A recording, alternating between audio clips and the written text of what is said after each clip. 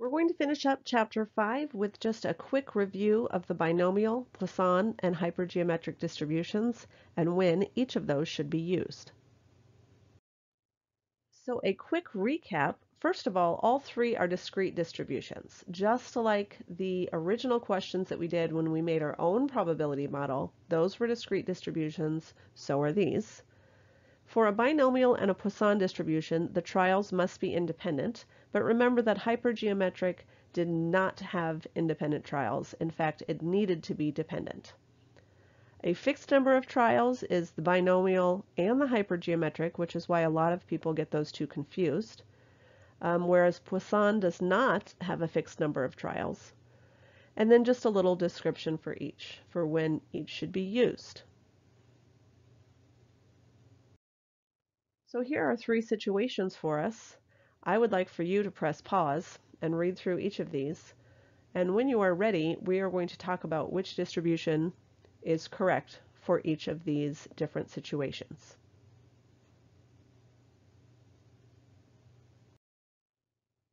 For my first question, based on data from an online search provider, a new company believes that the website is viewed 1,500 times per week.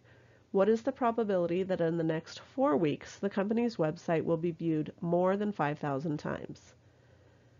So in this case, remember that I'm looking for, I'm given trials where successes occur in a given interval. This is where we talked about finding lambda. Lambda is the average in a given period of time. So based on data, the new company believes that his website is viewed 1,500 times per week. And now we're talking about the next four weeks. So lambda would be 6,000. So this is going to be a Poisson distribution. Lambda would be 6,000, and of course x would be 5,000, and we're looking at more than 5,000 times, so it would be cumulative. For B, assume the proportions of boys and girls born in, born in Cincinnati, Ohio have remained constant for the last few years, and that 48% of babies born in Cincinnati, Ohio are girls. So what is the probability that of the next 250 babies that are born, no more than 100 of them are girls? So the big question here is obviously we're not dealing with a mean. So this is not a Poisson distribution. It's binomial or it's hypergeometric. So the big question between the two, do we have independent trials or do we have dependent trials?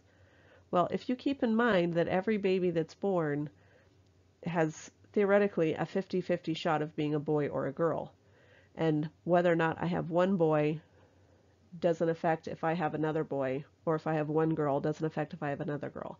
So these are independent trials, so this would be a binomial distribution. Now, what kind of values did we find for a binomial distribution? We said we needed a p, and we needed an n, and we needed an x. So spoiler alert, we know that this last one's going to be hypergeometric because I told you at the beginning there was going to be one of each. But let's go ahead and talk about why it is the hypergeometric and then which values I would need to solve. So we have 500 programs printed. Several contain coupons for the coffee shop. Of these coupons, 100 are $1 off and 50 are for a free latte. Assuming that the different coupons are randomly dispersed throughout the programs, what is the probability that the first 50 programs that are handed out each contain a coupon for the coffee shop? So again, a lot going on here. In fact, they even tried to make this one a little bit more complicated. Now, first of all, I'm looking at success or failure. So if I have success or failure, right away I know it's binomial or hypergeometric. And remember, the big difference between the two is whether or not the trials are independent or dependent.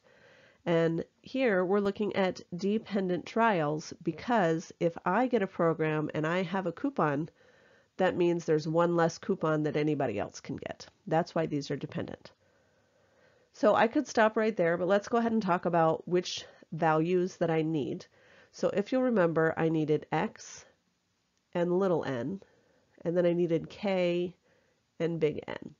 and x and little n had everything to do with the sample. And so for the sample, we're saying the probability that the first 50 programs each contain a coupon. So that's 50 that I'm choosing and 50 that I hope contain a coupon. So 50 and 50.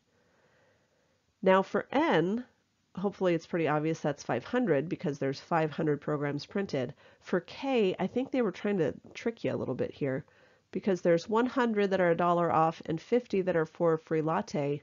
But when they ask the question at the end, they don't specify which is which. They just say, did you get a coupon or not? So there are 150 total coupons. So 150 successes out of 500. The question asks for what's the probability that I get 50 out of a sample of 50. Up next, we are going to switch gears and take a look at the last distribution and one of the most important where we're going to spend a lot of our time this term, which is the normal distribution and z-scores.